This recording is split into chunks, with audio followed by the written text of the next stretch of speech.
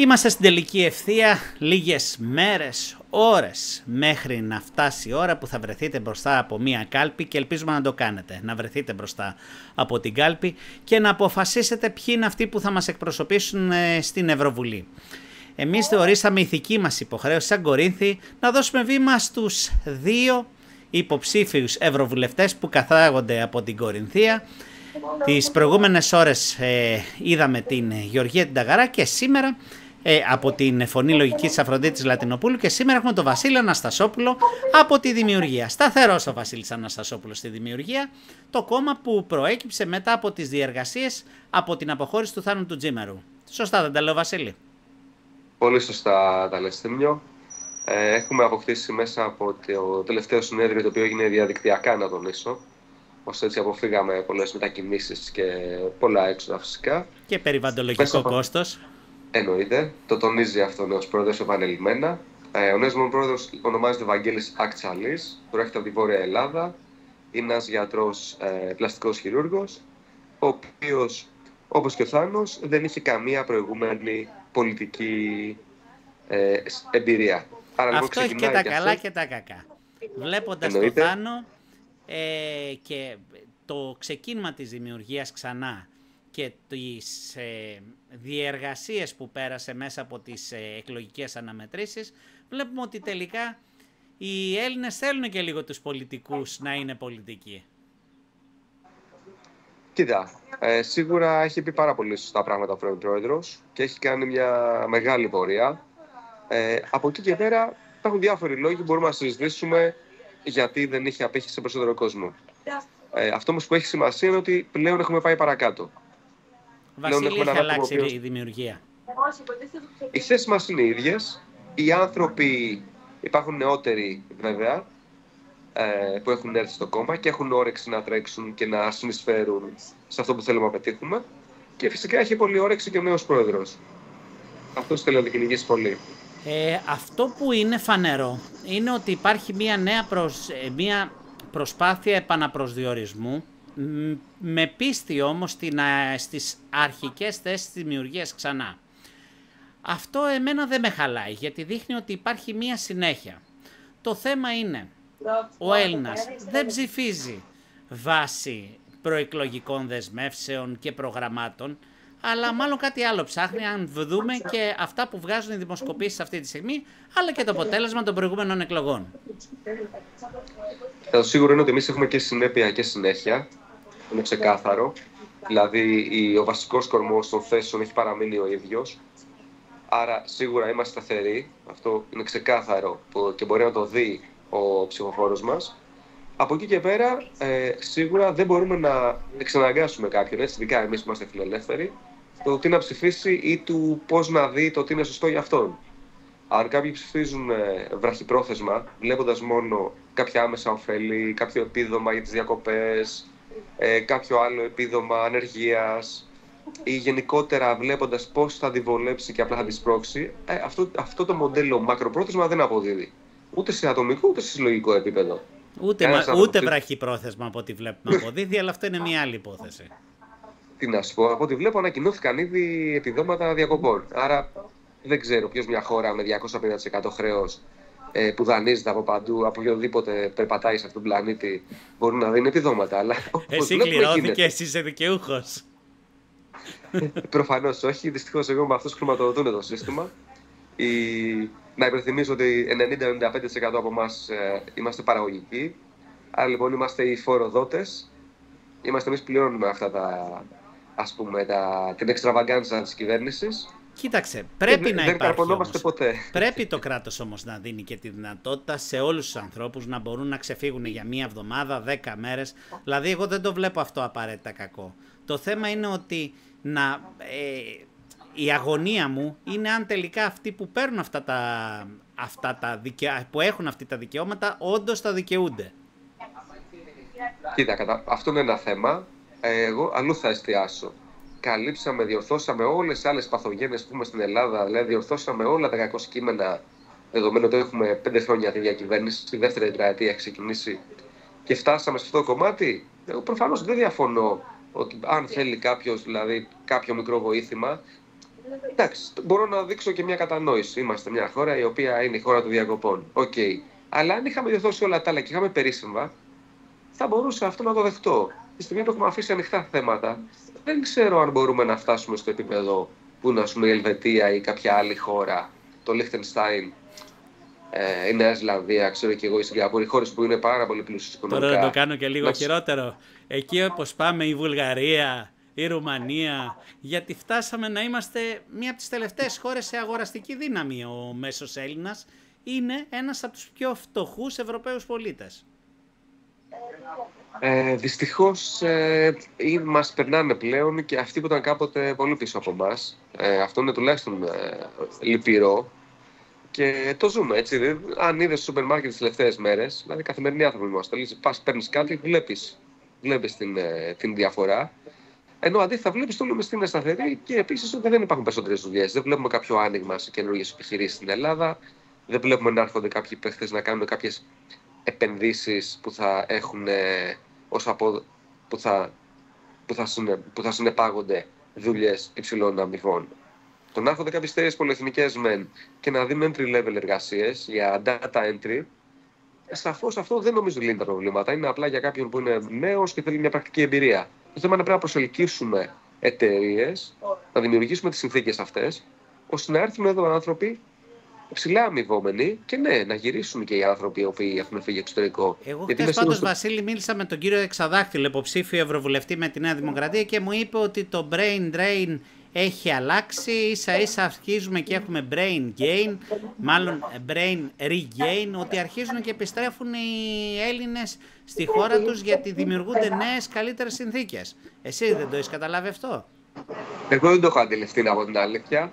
Ε, σίγουρα δεν, δεν μιλάμε για ανθρώπους που έχουν, έχει οικογένειά τους επιχείρηση ή ότι που έχουν μια περιουσία εδώ πέρα μπορούν να έρθουν να επενδύσουν. Αυτοί ναι, ίσως μείνουν λίγα χρόνια έξω και γυρίσουν. Το θέμα είναι άνθρωποι οι οποίοι πραγματικά χρειάζονται τη δουλειά και χρειάζονται να εξελιχθούν μέσα στην εργασία, από αυτούς δεν έχω δει κανένα να επιστρέφει, να σου πω την αλήθεια. Το αντίθετο, προχθές ένας παλιός μου φίλος πούλησε και το σπίτι του και έκλεισε και το αφημί του. Και μιλάμε για ανθρώπους ηλικίας 40-50, αλλά άνθρωποι που μάλλον θα, αν γυρίσουν ποτέ θα είναι μόνο για σύνταξη στα 70 τους.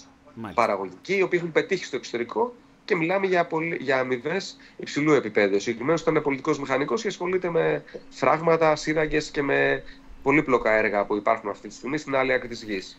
Να σε ρωτήσω κάτι. Ποιο είναι το προφίλ του ψηφοφόρου της δημιουργίας, Το προφίλ του ψηφοφόρου είναι ανθρώπου ο οποίος έχει σίγουρα βαθιά, έχει από βασική έως βαθιά γνώση οικονομικών, δηλαδή αντιλαμβάνεται πώς λειτουργεί η αγορά πρώτα απ' όλα, τι μπορούμε να ξοδέψουμε, τι πρέπει να επενδύσουμε και γνωρίζει ποιοι είναι ε, οι άνθρωποι παραγωγικοί και ποιοι μη παραγωγικοί.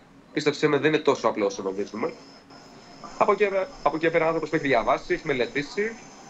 Σίγουρα η Ευρώπη είναι το σπίτι μας και βλέπει την Ευρώπη σαν μια ομάδα που ανήκουμε κι εμείς. Άρα δεν είσαστε ένα κόμμα ευρωσκεπτικιστών. Κοίταξε, αυτή τη στιγμή σίγουρα η Ευρώπη δεν πάει όπως θέλουμε. Εγώ προσωπικά δεν είμαι καθόλου ευχαριστημένος. Είναι το μόνο Από εκεί πέρα όμως η Ελλάδα είναι μια χώρα η οποία δεν έχει την πολυτέλεια να σκεφτεί ε, κινήσεις ε, οι οποίες μπορεί να φέρουν ε, τεράστιες αλλαγές και απότομες. Δηλαδή, αν, για παράδειγμα, η Αγγλία μπορούσε να φύγει. Είχε το πλεονέκτημα. Mm. Είναι μια χώρα φιλελεύθερη. Βλέπω πλούσια. πάντως ότι όταν, επανα... όταν επανήλθε ο Φάρατ δεν είχε και την καλύτερη αντιμετώπιση από αυτούς που είδανε αυτή την επάνωδό τους στην πολιτική. Μάλλον τον κατηγορούν γιατί τους παρέσκει σε ένα Brexit σίγουρα θα πρέπει να βλέπουμε κάτι από την πλευρά του ανθρώπου που βρίσκεται εκεί. Είναι δύσκολο για εμά ω Έλληνες να σκεφτούμε πώς οι Άγγλοι αποφάσισαν. Εγώ που έζησα τέσσερα χρόνια Αγγλία, το θεωρώ απόλυτα αναμενόμενο. Και απορώ και πώ άργησε και τόσο. Δεν γίνεται ιστορικά οι άνθρωποι που κέρδισαν τον δεύτερο παγκόσμιο πόλεμο να δέχονται εντολές από αυτούς που έχασαν. Να το πούμε λίγο χοντρικά. Αλλά και για άλλους λόγους είναι μια φιλελεύθερη χώρα. Δηλαδή, ο πυρήνας της Ευρώπης δυστυχώς ε, είναι σοσιαλιστικός. Οι δύο μεγάλες χώρες οι οποίες ηγούνται ακόμα παραμένουν βαθιά σοσιαλιστικές, με ό,τι συνεπάγεται αυτό για την ανταγωνιστικότητα όλων των ε, ευρωπαϊκών προϊόντων. Είσαστε ένα κόμμα που η λογική του είναι να αλλάξει η δημόσια διοίκηση στην Ελλάδα. Γιατί είστε υποψήφιοι για τις ευρωεκλογές, Είμαστε υποψήφιοι γιατί αν η χώρα δυναμώσει, αποκτήσει καλύτερη οικονομία, θα έχει περισσότερες επιχειρήσεις. Άρα, ένας άνθρωπος που σήμερα δικαιολογημένα, το ξαναλέω, παρόλο δεν το κάνω ο ίδιος, μπορεί να ζητούσε τη σιγουριά ενός κρατικού φορέα, αύριο το πρωί, όταν υπάρχουν καλύτερες δουλειές έξω, υπάρχει ανάπτυξη, δεν θα κάνει το ίδιο. Σου υπενθυμίζω ότι όταν πήγα Αγγλία να σπουδάσω, το πρώτο πράγμα που με ρώτησε ένας Άγγλος που ήταν μαζί μου ως φοιτητής, όταν του είπα ότι οι Έλληνες τον ρώτησαν έχουν να πάνε στο δημόσιο, μου είπε γιατί κάποιος να θέλει να βγάζει τόσα λίγα; Μάλιστα. Αυτή ήταν η αντίληψη στην Αγγλία. Η αλήθεια είναι ότι και στην Ελλάδα, όσο και αν θέλουμε να δείξουμε και μάλλον κάποιοι άλλοι θέλουν να δείξουν ότι ο κόσμος ε, στείνεται στις ουρές για να βρει μια θέση στο δημόσιο, βλέπουμε ότι η χώρα προκυρήσει θέσεις ε, στα νοσοκομεία ας πούμε και δεν βρίσκει κανένα να τις πληρώσει. Μόνο σε, σε, σε θέσεις οδοκαθαριστών και άλλες θέσεις ανθρώπων που δεν έχουν τις δεξιότητες να μπουν στο δημόσιο και να, μάλλον στον ιδιωτικό τομέα με έναν πολύ καλό μισθό. Ψάχνουν τις θέσεις στο δημόσιο. Διανέφερε στα νοσοκομεία να πω ότι προφανώς όλος ο τομέας αυτός της υγείας έχει πολύ καλύτερα αμοιβόμενες θέσεις στο εξωτερικό. Άρα, όταν είσαι σε απόσταση μια, δύο, τρεις ώρες, δηλαδή στην κεντρική Ευρώπη και ο νοσοκόμος παίρνει τουλάχιστον διπλά ή τριπλά, να μην πω για τους γιατρούς, έτσι πόσο καλύτερα αμοιβόμενοι είναι. Είναι λογικό να θέλουν να πάνε κάπου έξω. Ε, μην ξεχνάς ότι ναι, μεν το δημόσιο έχει το κράτος, κρατικές υπηρεσίες και κρατικοί φορείς έχουν μια σιγουριά, αλλά δεν εξελίσσεται ιδιαίτερα.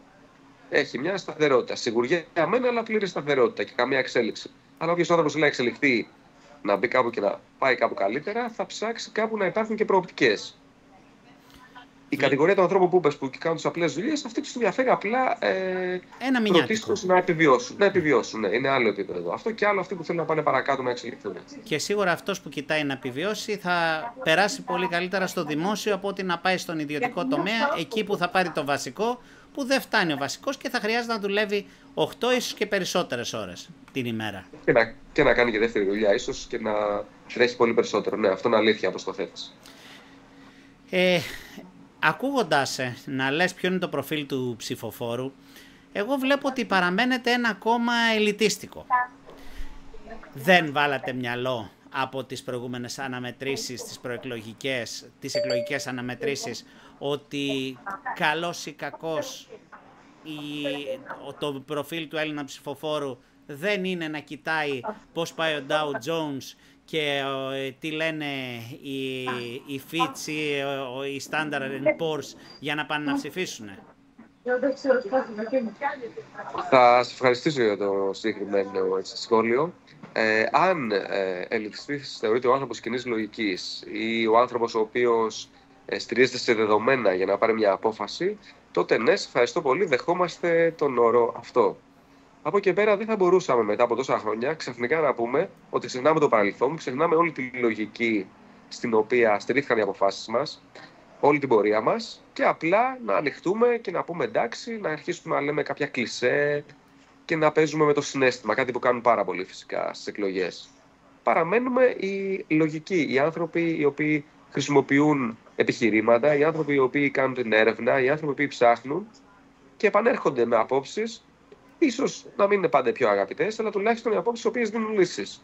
Πάντως οι εκλογές έχουν και συνέστημα, οι εκλογές έχουν και το, την ανάγκη να γνωρίσεις από κοντά τον υποψήφιο.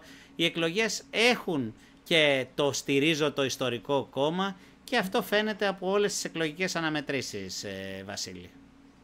Σίγουρα. Εδώ να τονίσω ότι εμάς δεν χρειάζεται κάποιος να κάνει προσπάθεια για να μας γνωρίσει. Είμαστε απλοί καθημερινοί άνθρωποι είμαστε επαγγελματίες στη δουλειά μας, όχι επαγγελματίες πολιτικοί. Άρα στον κύκλο μας όλοι λίγο πολύ όλοι μας γνωρίζουν και είμαστε και ανοιχτοί. Δηλαδή γίνονται συναντήσεις. Χθες το βράδυ στη Θεσσαλονίκη είχε αρκετή προσέλευση. Αύριο το βράδυ για όσους στην Αθήνα μπορούν να έρθουν να μας δουν στο Άλσος και Φυσιά, όπου θα γίνει η κεντρική ομιλία του πρόεδρου του κ. Αξαλή και θα είμαστε εκεί και όλοι οι υποψήφοι της Νοτιού Ελλάδος. Είμαστε απλοί καθημερινοί άνθρωποι οι οποίοι λέμε πράγματα τα οποία προσοχή, πολλοί συμφωνούν μαζί μας. Απλά για διάφορους δικούς τους λόγους. Σας αγαπάνε, αλλά δεν σας ψηφίζουν. Δεν επιλέγουν. Ναι. Εκεί τι φταίει λοιπόν, γιατί δεν σας παντρεύονται; Όπως καταλαβαίνεις, ο γάμος είναι μια δέσμευση η οποία είναι μακροχρόνια. Ε, ο καθένας έχει διαφορετικά κριτήρια. Πρέπει και τα δύο μέρη να είναι ικανοποιημένα. Εμείς από μεριά μα είμαστε ειλικρινείς, λέμε αυτό που ισχύει, λέμε την αλήθεια. Τώρα, το πώς αντιλαμβάνεται ο άλλος ή το πώς νομίζει ότι λειτουργεί ε, η ψήφος ή η δημοκρατία ή ο κοινοβουλευτισμό που έχουμε, χωρίς τη συμμετοχή του ή με μερική συμμετοχή του, ναι. δεν ξέρω να σου απαντήσω. Αυτό μάλλον άπτεται της ψυχολογικής επιστήμης, της οποίας εγώ δεν είμαι τόσο γνώστη. Ε, το γεγονός ότι κόμματα που είναι στα όρια του να μπω ή να μην μπω στην Βουλή ή στο Ευρωκοινοβούλιο απολαμβάνουν πολύ μεγαλύτερης προβολής από τα μέσα μαζικής ενημέρωσης. Πού το αποδίδεις; Και θέλω να μιλήσεις ειλικρινά. Χρήμα δεν είναι η υπόθεση. OK, okay. το ένα θέμα είναι το οικονομικό. Παίζει ρόλο και το οικονομικό, το γνωρίζεις, είσαι στον χώρο των media, γνωρίζεις πόσο κοστίζει. Συγγνώμη, είσαστε 40 άτομα. Δεν μπορείτε να βγάλετε ένα χ ποσό για να μπορέσετε να έχετε μια διαφημιστική προβολή, έστω και διαδικτυακή; Διαδικτυακές κάνουμε, κάνει ο πρόεδρος ε, συνέχεια και κάνουμε και εμείς σαν κόμμα. Βάζουμε δηλαδή διαφημίσει διαδικτυακά. Αυτό ναι. Αλλά αν θες να βγεις prime time, γνωρίζεις ποιο είναι το κόστος και αν θα γίνεις και αποδεκτός από κάποια κανάλια. Mm-hmm. Πάμε στο άλλο, στο δεύτερο σκέλος. Πώς εξηγείς ότι γίνονται αποδεκτές φωνές, ε, όπως της κυρίας Λατινοπούλου, σε prime time, όπως είπες, 8.30 ώρα το πρωί σε κεντρική εκπομπή, τη, του κυρίου Βελόπουλου σε πολύ καλές ώρες και βέβαια εντάξει και ο ίδιος έχει φροντίσει να έχει ένα δίκτυο καναλιών μέσω των εκπομπών του. Η Νίκη βλέπουμε να έχει βήμα στα μέσα μαζικής ενημέρωσης. Εσείς τι φταίει, μήπως φταίει ότι συγκρουστήκατε υπερβολικά με τα μέσα και γι' αυτό σας δέχονται με ένα περίεργο τρόπο; Ωραία, κατά πρώτα ξεκαθαρίσω, έχουμε άλλο πρόεδρο. Άρα μπορεί παλιότερα ο πρόεδρος να έχει πει πράγματα live τα οποία ίσως δεν περιμένανε οι πιο πολλοί που, είναι στα, που δουλεύουν στα mainstream media. Γιατί όπως γνωρίζεις την αλήθεια την παρουσιάζει, την παρουσιάζει πάντα ο Θάνος και κάποιες φορές και ο Μη. Αυτό είναι το ένα κομμάτι. Το άλλο κομμάτι, ανέφερες πολλές περιπτώσεις. Κάποιοι, εγώ δεν θα μπω να, ο καθένας το σκεφτεί μόνος του. Ε, κάποιοι άνθρωποι λοιπόν που υποτίθεται παρουσιάζονται σαν αντισυστημικοί, όταν βγαίνουν ε, σε κανάλια τα οποία λίγο πολύ έχουν πολλές σχέσεις με την κυβέρνηση, δεν το θεωρώ τυχαίο. Θεωρώ ότι εξυπηρετούν κάποιο σκοπό. Άρα λοιπόν θα έλεγα ότι η Νέα Δημοκρατία, από ένα κόμμα εξουσίας, έχει βρει έναν τρόπο τουλάχιστον να ελέγχει τη διαρροή ή τουλάχιστον να ξέρει τι να περιμένει στο ποσοστό που θα έρθει την επόμενη μέρα. Άρα λες ότι υπάρχουν κόμματα που είναι βαλβίδα εκτόνωσης; Πολύ εύκολα όταν ο άνθρωπος έχει νευριάσει για διάφορους λόγους βρεθεί κάποιος και του πει εγώ είμαι η λύση, να, έλα μαζί μου, μαζί θα αντιμετωπίσουμε αυτή τη δυσκολία. Όπως είπες και στο συνέστημα παίζει ρόλο. Ε, και το θυμικό παίζει ρόλο. Άρα κάποιοι το χρησιμοποιούν. Από εκεί πέρα, κάθε περίπτωση είναι διαφορετική. Έτσι. Προφανώς δεν θα μιλήσουμε για το Βελόπουλο, δικά του κανάλια και παίζει συνέχεια. Εντάξει, είναι και εξελίχθηκε πάρα πολύ. Αν έχεις δίκιο λόγος, το έχει εξελιχθεί πάρα πολύ. Εντάξει, είναι και ένας έξυπνος άνθρωπος, ε, είναι ένας ε, φοβερός στο πολιτικό μάρκετινγκ του εαυτού του. Ε, εκεί που υπάρχει πρόβλημα στην παράταξη του κ. Βελόπουλου είναι ότι προβάλλεται μόνο ο ίδιος και δεν έχουμε δει τους υποψήφιους του γιατί αυτοί θα μπουν στην Ευρωβουλή, δεν είναι μόνο ο ίδιος. Και αυτό είναι λίγο προβληματικό από μόνο του. Εντάξει, το ξαναλέω, κάθε κόμμα έχει το δικό του μόντι operandi, οπότε σίγουρα ε, αν βλέπω όμως κάποιο κόμμα το οποίο, το ξαναλέω, Μας παρουσιάζει σαν αντισυστημικό σε πολλά θέματα και το βλέπεις να προωθείται έμεσα ή άμεσα, εγείρει κάποια ερωτήματα. Εγώ αυτό θα πω μόνο και θα βάλω μια τελεία γιατί με να με ενδιαφέρει πιο πολύ η δημιουργία τι κάνει και δεν ασχολούμαι με τι κάνουν οι υπόλοιποι. Δεν θα διαφωνήσω, αυτό έπρεπε να το έχετε κάνει πολλά χρόνια τώρα. Να πάμε τώρα σε μια ε, αυτονόητη ερώτηση. Από ό,τι φαίνεται, σε αυτές τις εκλογές πάμε με κύριο μέλημα την οικονομία. Όταν ο άλλος ε, δεν βγαίνει ο μήνας, ε, πάρα πολύ δύσκολα θα μπορέσει να μιλήσει για όραμα, θα μπορέσει να μιλήσει για εξέλιξη.